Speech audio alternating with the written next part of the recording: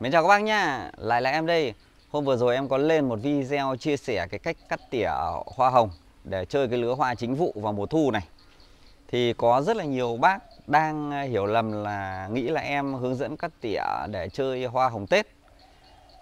Thì ờ, cũng lên video tiếp theo để chia sẻ với các bác là cái thời điểm nào chúng ta nên cắt tỉa hoa hồng Để chơi vào cái dịp ờ, Tết âm lịch, Tết Nguyên đán nhé các bác nhé như các bác đã biết thì ờ, sau khi chúng ta cắt tỉa hoa hồng thì ờ, tầm 45 đến 50 ngày chúng ta sẽ có một lứa hoa hồng mới. Cái thời gian này nó còn phụ thuộc vào cái quá trình chăm sóc của chúng ta và thời tiết nữa. Ví dụ những ờ, năm nào mà thời tiết nó ấm thì cái khoảng thời gian nó sẽ ngắn, nó tầm 45 ngày.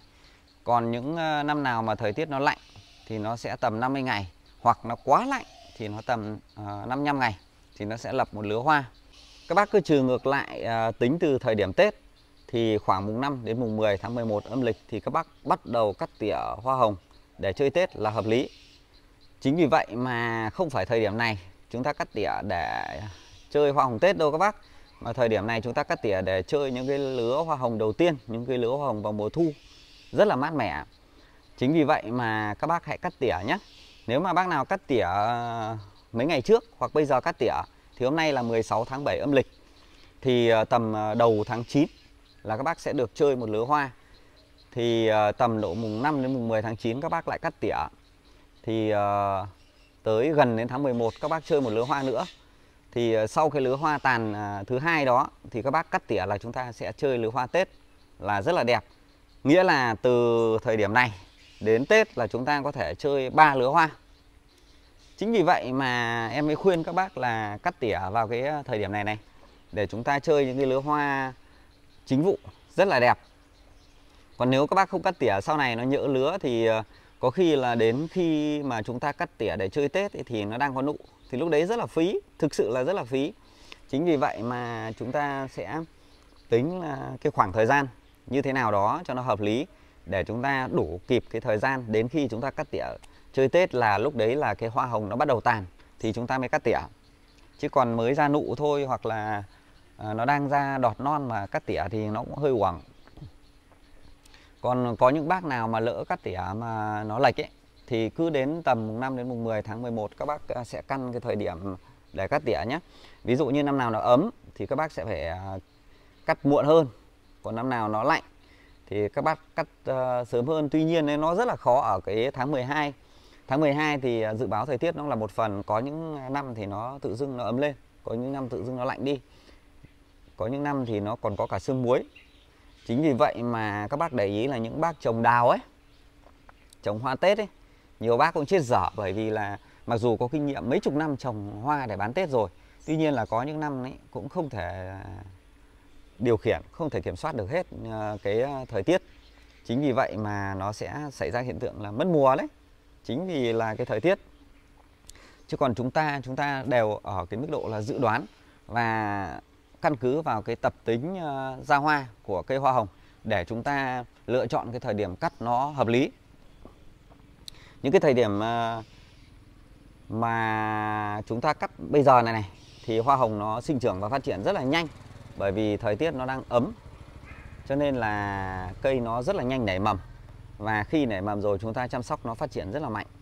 Còn những thời điểm cuối năm những thời điểm mà nó lạnh kèm theo là có thể là cái ngoại cảnh tác động ví dụ như là sương muối rồi tất cả mọi thứ nó tác động vào nó làm cho cái mầm nó chậm đi. Chính vì vậy mà cái quy trình chăm sóc chúng ta sẽ phải phụ thuộc vào từng cái thời điểm nhé các bác nhé. Và sau khi cắt tỉa thì các bác sẽ phun một uh, lượt chống nấm. Các bác có thể sử dụng cóc 85 hoặc man xanh các bác lên shopee các bác đặt nhé về dùng dần. Các bác cứ đặt độ dăm bảy gói về dùng dần thi thoảng chúng ta uh, xịt để chống nấm rất là tốt nhé. Thì cắt tỉa xong các bác xịt ờ, một lớp chống nấm để uh, những cái vết cắt nó còn rất là yếu để nấm bệnh nó sẽ không xâm nhập vào các vết cắt nó tránh hiện tượng bị đen cành và nó dẫn tới nó lây uh, lan xuống nó gây hiện tượng đen thân nhé các bác nhé.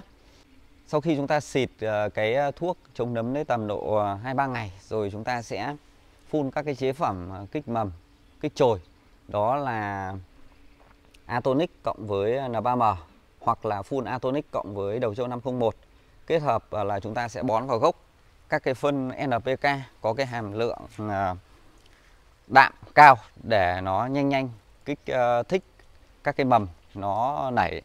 Cái mục đích chúng ta phun các cái chế phẩm phân bón lá kích chồi, đặc biệt là Atonic để cho nó nảy bật hết những cái mầm ngủ khi mà chúng ta cắt cái đầu cành của nó. Bởi vì có những cái mầm ngủ nếu mà chúng ta không kích thích thì nó sẽ không nảy mầm. Nó sẽ gần như là cái mầm điếc. Còn nếu mà chúng ta có cái Atonic chúng ta kích thích vào thì nó sẽ bật rất là nhanh cái mầm ngủ như vậy. Thì các cái chế phẩm phân bón lá thì các bác cứ xịt 7 đến 10 ngày xịt một lần. Đó, các bác cứ xịt tầm độ ờ, 20 ngày đầu tiên cứ xịt ờ, 7 ngày một lần thì các bác sẽ xịt được 3 lần. Đó. Còn các cái phân NPK có hàm lượng đạm cao thì các bác sẽ ờ, bón ờ, đúng cái liều lượng của nhà sản xuất thôi, tức là một cái chậu to như thế này các bác bón khoảng độ ờ, ba cái nắm tay nhỏ nhỏ này. Bón sát mép chậu nhé, đào cái lỗ trôn nó xuống. Không giải lên mặt chậu nhé. Cũng có một số bác hướng dẫn là cứ vãi lên mặt chậu như cá nhân em. Em chia sẻ với các bác này, tất cả những cái phân bón chúng ta nên trôn được vào dưới đất là tốt nhất hoặc là chúng ta có thể trộn vào các cái mùn, ví dụ như là mùn sơ dừa này, rồi chấu này, chúng ta trộn vào rồi chúng ta à, phủ lên trên mặt. Còn không thì chúng ta cứ sới đào cái lỗ sát mép chậu này, chúng ta vùi xuống. Cái mục đích của vùi ấy là để nó tránh bị à, bay hơi khi mà trời nắng như thế này này.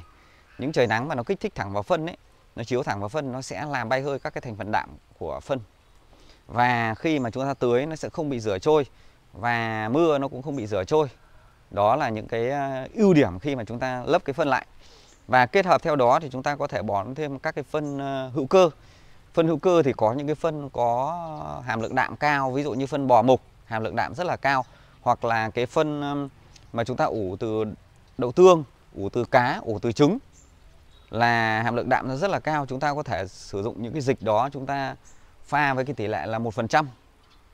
Chúng ta xịt lên lá như kiểu chúng ta xịt Atonic ấy, và chúng ta tưới vào gốc thì một phần nó sẽ Ờ, cung cấp dinh dưỡng cho lá giúp cây nhanh bật mầm một phần nó sẽ kích thích trực tiếp vào rễ và các bác lưu ý là cái thời điểm ờ, mà cây mà nó bắt đầu nảy mầm ấy thì nó rất là hay bị sâu bệnh tấn công bởi vì mầm nó non thì các cái sâu bệnh tấn công thì ờ, đại đa phần là có thể là bệnh trĩ bệnh nhện đỏ và bệnh uh, nấm còn cái bệnh thán thư thì nếu mà quanh cái khu vực của các bác mà không có cây nào bị thán thư thì nó rất ít bị.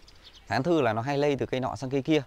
Thì chúng ta cứ ờ, phun cái thuốc ờ, nấm cóc 85 hoặc là Anvin ấy thì nó sẽ diệt cả các cái bệnh ờ, thán thư luôn.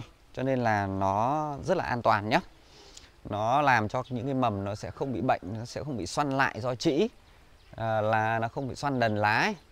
Và nó sẽ phát triển rất là đẹp cây hoa hồng nhìn nó trong veo luôn đó còn mùa hè ấy thì chúng ta có phòng bệnh hay là chữa bệnh thì nó vẫn bị trĩ và nó vẫn bị nhện đỏ. Cho nên là khi mà chuyển sang thời tiết chính vụ mùa thu trở đi thời tiết bắt đầu nó mát mẻ rồi thì chúng ta sẽ uh, sử dụng các cái chế phẩm thuốc bảo vệ thực vật để diệt hết những cái con sâu bệnh thì những cái lứa hồng tiếp theo mà chúng ta chơi ấy, thì nó rất ít khi bị sâu bệnh. Nó chỉ loanh quanh là cái lứa đầu tiên tức là nó giao mùa giữa mùa hè và mùa thu là nó hay bị sau khi chúng ta bón tầm độ 20 25 ngày thì mầm bắt đầu nó nảy rất là mạnh rồi, tức là nó lên khá là cao rồi. Khi đó thì chúng ta sẽ chuyển cái chế độ dinh dưỡng sang bón các cái loại phân ờ, cân bằng. Ví dụ như phân NPK 13 13 13 TE chúng ta bón thì cũng, các bác cũng bón tầm độ ờ, một tuần đến 10 ngày, các bác bón một lần thôi chứ không không nên bón dày quá. Bón dày quá nó sẽ sốc phân. Và các bác bổ sung thêm các cái phân hữu cơ nhé ví dụ như phân ờ, gà mục này phân bò mục này phân rơi phân dê phân chuồn quế này. Các cái phân hữu cơ nó làm cho đất được tơi xốp nó kích thích các cái à, vi sinh vật có lợi uh, phát triển. Nó giúp tiêu diệt các cái vi sinh vật có hại và nó giúp cái con run đất nó sinh sôi nảy nở.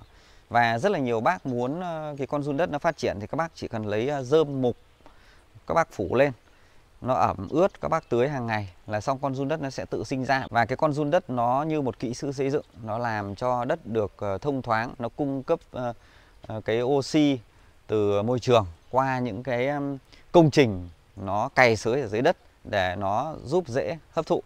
Thực ra ấy, thì những cái con vi sinh vật là những cái kiến trúc sư quyết định lên cái cây nó có khỏe hay không nếu mà một cái giá thể của các bác nó không có những cái con vi sinh vật có lợi phát triển thì giá thể nó sẽ rất dễ bị chai bị uh, sơ hóa và nó sẽ kém phát triển.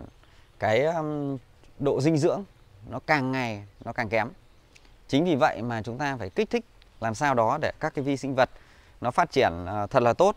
Mà các vi sinh vật nó phát triển thì bắt buộc là chúng ta phải bón phân hữu cơ thôi. Và Ờ, tưới các cái chế phẩm chúng ta tự làm, ví dụ như dịch chuối này, dịch đậu tương này, dịch cá, dịch trứng này. Đấy, chúng ta tưới những cái chế phẩm đó.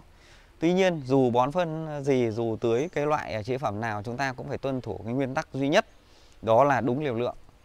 Còn các bác cứ ờ, tưới quá liều thì đảm bảo là cái cây nó sẽ bị ờ, sốc phân, nó sẽ bị héo ngay. Còn à, nếu mà tưới ít quá thì nó sẽ không đủ để nó hấp thụ, thì nó sẽ giảm cái quá trình sinh trưởng và phát triển của cây hoa hồng nói chung. Đó, còn à, đến cái giai đoạn cuối cùng là giai đoạn à, kích hoa. Ở cái giai đoạn à, kích hoa thì nó rơi vào tầm từ ngày thứ 40 trở đi. Thì bắt đầu là cây nó đã có nụ rồi. Thì tầm đó thì các bác có thể xịt cái cây chế phẩm đầu châu 701 tầm độ 1-2 tuần rồi chúng ta chuyển sang đầu châu 901 và khi mà cây nó nở hoa thì các bác có thể xịt thêm B1 để dưỡng hoa nó lâu tàn hơn. Khi các bác ờ, xịt các cái chế phẩm đầu trâu phân bón lá nó có hàm lượng kali cao như là kiểu đầu trâu 901 ấy thì cây nó sẽ ờ, bung hoa to hơn này, hoa nó sẽ thắm hơn và hoa nó sẽ bền hơn. Kết hợp thêm ờ, cái vitamin B1 chúng ta cung cấp thì hoa nó sẽ rất bền. Các bác lưu ý rằng là cái vitamin B1 nó rất là tốt khi mà chúng ta sử dụng cho hoa cây cảnh Đặc biệt là nếu mà các bác để ý những cái bác mà buôn đào buôn quất ấy Cứ đến cái dịp ờ, các bác mà bứng ờ, về vườn ờ, các bác bán hoặc là bứng ra ngoài rìa đường các bác bán ấy Bác nào cũng có cái lọ vitamin B1 Một là của dành cho cây Hai là dành cho người. Các bác pha các bác xịt thường xuyên lên trên cái phần tán, cái phần hoa ấy Thì cây nó sẽ rất là tươi lâu. Và đặc biệt là hoa nó rất là lâu tàn, đặc biệt là hoa đào các bác nhé. Chính vì vậy mà để dưỡng hoa thì các bác sử dụng vitamin B1 nếu mà bác nào mà hay cắm hoa ở lọ ấy, thì các bác mua vitamin B1 về, nhất là cái vitamin B1 mà dành cho người ấy. Cứ mỗi lần cắm ờ, thì các bác cho độ tầm ờ, 1 2 viên, cái viên nén nhỏ nhỏ vào. Rồi các bác quấy nó tan ra rồi ờ, chúng ta cắm hoa vào đảm bảo tươi rất là lâu. Còn cái vitamin B1 của Thái mà hôm vừa rồi có một bác hỏi nhé sử dụng như thế nào. Thì cái vitamin đó thì các bác cứ sử dụng 2 cc tức là 2 ml các bác pha với một lít nước nhá. Cứ pha như vậy cho em à, xịt à, hoặc tưới đều được. Đó đó là cái tỷ lệ mà chia sẻ với các bác. Trong cái thời điểm mà cây à, dưỡng nụ và ra hoa thì chúng ta vẫn tiếp tục bón phân và chúng ta sẽ ưu tiên các cái loại phân NPK có hàm lượng kali cao và các cái phân hữu cơ có hàm lượng kali cao để nó kích nụ và kích hoa được tốt hơn các cái phân NPK có hàm lượng ờ, kali cao thì ờ, chúng ta có thể ra cửa hàng vật tư nông nghiệp chúng ta hỏi người ta sẽ bán cho và kèm theo xịt bón lá thì chúng ta có thể xịt đầu châu 701 và đầu châu 901 nhé các bác nhé. Thì ờ, chúng ta sẽ làm như vậy thì cây nó sẽ có đủ cái dinh dưỡng, đủ hàm lượng kali để nó nuôi nụ nuôi hoa. Còn với các cái phân hữu cơ ấy có hàm lượng kali cao, cụ thể thì trong đó có phân gà phân gà có hàm lượng kali khá là cao hoặc là dịch chuối nhá cũng có hàm lượng kali rất là cao. Chính vì vậy mà chúng ta sẽ sử dụng à, hai loại này để chúng ta bón cho giai đoạn cây ra hoa. Thì đảm bảo cây của chúng ta sẽ hoa sẽ rất đẹp và hoa sẽ rất bền. Chúng ta nên kết hợp giữa phân hữu cơ và phân NPK để cùng kết hợp với nhau để nó bổ sung cho nhau. Ví dụ như là phân hữu cơ nó thiếu cái thành phần trung vi lượng thì phân NPK nó sẽ bổ sung và ngược lại, phân hữu cơ nó sẽ bổ sung cho phân NPK những cái vi sinh vật, những cái à, chất dinh dưỡng mà phân NPK không có, nó giúp bổ sung cái dinh dưỡng cho đất nha các bác nhé đó. Cho nên là khi mà các bác à, cắt tỉa xong, các bác phải chăm sóc đúng quy trình thì cái cây hoa hồng của chúng ta nó mới phát triển đúng cái giai đoạn. Chứ còn nếu mà các bác cắt tỉa xong, các bác cứ bỏ đấy, các bác không chăm sóc nó lên như thế nào thì lên nó phát triển như thế nào nó phát triển thì thường thường là nó không phải 45 đến 50 ngày một lứa hoa nữa mà nó có thể 60 ngày đến 70 ngày nó mới một lứa hoa cơ. Chính vì vậy mà khi mà đã chơi cây gì nuôi con gì thì chúng ta hãy để ý chăm sóc nó nhé các bác nhé còn nếu mà không có thời gian chăm sóc thì tốt nhất là không chơi. Em nói luôn rất là nhiều bác buồn. Nhưng mà ấy, khi mà chúng ta chơi chúng ta nuôi các cái con vật chúng ta chơi những cái cây hoa mà chúng ta không để ý đến nó đấy là cái tội. Nhìn nó vật vàng vật vờ thà rằng thì các bác cứ tích tiền đến gần tết. À, các bác muốn chơi hoa tết các bác ra làm cây đào cây quất hoặc là cây ly hoặc là à, những cái chậu hoa các bác về chơi hết tết các bác bỏ bỏ và đến một cái dịp ờ, lễ nào của gia đình. Ví dụ như ngày sinh nhật này hoặc là ngày cưới con cái các bác mua hoa về chơi xong bỏ. Thì nó còn hơn cái việc là các bác trồng những cái cây hoa này các bác chả để ý chăm sóc nó. Cũng thấy hàng xóm trồng thì mình cũng mua về thấy đồng nghiệp trồng mình cũng mua về. Hoặc là thấy mấy chị đồng nghiệp bán online cũng bảo là sách cho chị một cây thế này thế kia và trồng theo. Như thế gọi là chơi theo phong trào. Và trồng thậm chí là cây nó lên như thế nào cũng không biết và cũng không thèm quan tâm. Tới nó thì làm sao cây nó đẹp được các bác? Cũng có những bác thì cũng không biết nhưng các bác mua về và các bác chịu khó lên YouTube lên uh, mạng xã hội rồi lên uh, uh, internet các bác tìm hiểu thông tin tìm hiểu kỹ thuật. Và từ đó trở đi các bác trở thành người yêu hoa. Thì những bác đó thì em rất là ghi nhận tinh thần còn rất là nhiều bác hay chơi theo phong trào là mua về là vứt đấy. Em khẳng định luôn. Cho nên là rất là buồn với những bác mà có cái suy nghĩ như vậy và chơi theo cái kiểu như vậy. Nó làm cho chúng ta mất niềm tin vào những cái hoa cây cảnh. Bác nào cũng nói là ui chơi hoa hồng làm gì? Chơi hoa hồng, nhiều sâu bệnh lắm, chơi hoa hồng vất vả lắm, bỏ hết rồi, thế này, thế kia. Bởi bây giờ ai còn chơi hoa hồng nữa, nhưng không phải đâu các bác ạ. Nếu mà các bác hiểu đúng cái quy trình trồng và chăm sóc nó thì hoa hồng hay bất kể một loại cây nào nó cũng rất là dễ chăm sóc. À, nó không hề khó như các bác tưởng. Và nó không hề phức tạp không hề nhiều sâu bệnh như các bác tưởng. Nó cũng như là các cái loại rau màu hoặc là cây lúa của chúng ta thôi. Rau nào sâu đấy mùa nào sâu đấy. Chúng ta cứ trị ờ, dứt điểm đi. Ờ, rồi chúng ta sẽ chăm sóc một cái vườn nó không có sâu. Thì nó rất là sạch sẽ và nó ít bị sâu. Tổng kết lại thì em chia sẻ cho các bác là tầm này chúng ta sẽ cắt tỉa để chơi một lứa hoa hồng mùa thu nhé sau cái lứa hoa hồng mùa thu thì chúng ta lại tiếp tục cắt tỉa để chơi một lứa hoa hồng cận Tết và đến cuối cùng đến tầm độ mùng 5 đến mùng 10 tháng 11 thì chúng ta sẽ cắt tỉa để chơi lứa hoa hồng Tết nhé các bác nhé. Đến gần Tết thì căn cứ vào thời tiết em sẽ lên những video tiếp theo để chia sẻ cái thời điểm chính xác chúng ta có thể cắt tỉa hoa hồng để chơi Tết nhé các bác nhé. Vâng xin cảm ơn các bác đã theo dõi video trên kênh Hoa Vườn Nhà. Các bác xem video trên kênh Hoa Vườn Nhà nhớ nhấn vào nút like, nhấn vào nút đăng ký kênh và nhấn vào nút chuông để ủng hộ em nhé. Nếu có bất kể một chia sẻ góp ý gì thì các bác cứ để lại phần comment nhé. Em sẽ cùng các bác tìm ra giải pháp tốt nhất để chơi những cây hoa hồng trong vườn nhà nhé. Xin chào và hẹn gặp lại các bác